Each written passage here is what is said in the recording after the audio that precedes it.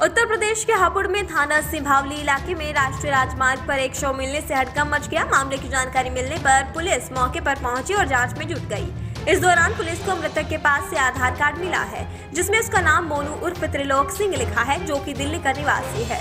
Police ने शव को कब्जे में लेकर पोस्टमार्टम के लिए भेज दिया है।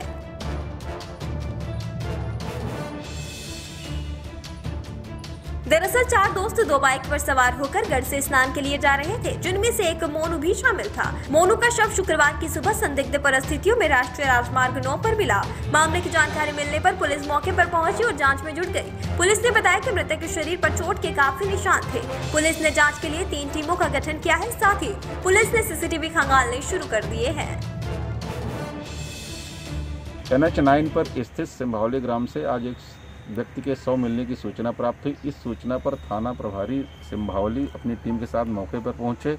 उस व्यक्ति के पास से एक आधार कार्ड मिला, जिसके अनुसार उस व्यक्ति का नाम मोनू उर्फ़ त्रिलोक है, जो दिल्ली का रहने वाला है। उनके परिजनों से संपर्क किया गया तो उन्होंने बताया कि चार लोगों के साथ दो मोटरसाइकिलों में गढ़गंगा स्नान करने के लिए गए हुए थे। उनके शरीर पर मल्टीपल चोटें हैं।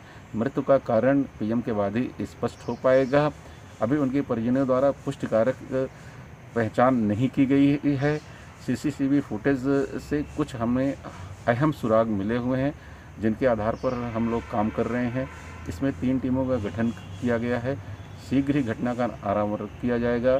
पंचायतनामा भरकर पीएम की कार्यवाही प्रचलित है। अन्य वैधानिक कार्रवाई की जा रही है।